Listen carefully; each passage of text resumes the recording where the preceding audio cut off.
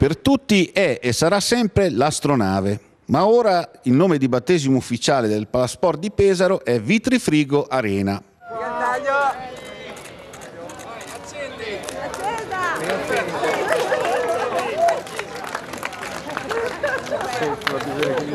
Sotto una pioggia battente domenica scorsa lo stesso Alceste Vitri, insieme al sindaco Matteo Ricci, ha svelato la nuova insegna frutto dell'accordo tra il Colosso del Freddo, l'Aspes che gestisce l'impianto, il comune di Pesaro e la Vittoria Libertas. Un connubio fortunato considerando che la VL ha subito vinto la partita in casa con Bologna durante il VL Day.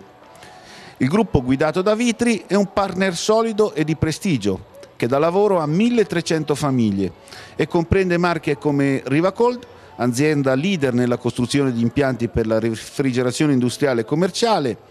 Vitrifrigo, che produce frigoriferi professionali per nautica, oreca e trasporto, RAV, che è la rete di distribuzione di componentistica e prodotti per la refrigerazione, oltre a una serie di consociate estere che ne curano lo sviluppo al di fuori del Paese. L'astronave è stata inaugurata nel 1996 con un'indimenticabile esibizione di Luciano Pavarotti e durante la sua storia ha ospitato decine di eventi di rilevanza internazionale, dallo sport alla musica, dal teatro alle convention, diventando anche la casa del ROF. In oltre vent'anni di attività, sulle sue tribune sono passate oltre 7 milioni di persone.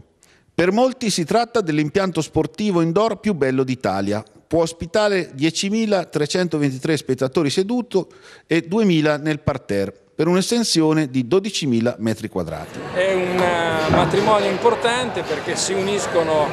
due, anzi tre eccellenze del nostro territorio che promuovono la nostra città, eh, producono economia, insomma è un grandissimo livello. L'Arena è uno dei palazzi dello sport più belli d'Italia, per, per me il più bello, per noi il più bello sicuramente Vitri, il gruppo Vitrifrigo è un gruppo che produce sport in tutti i paesi del mondo, la VL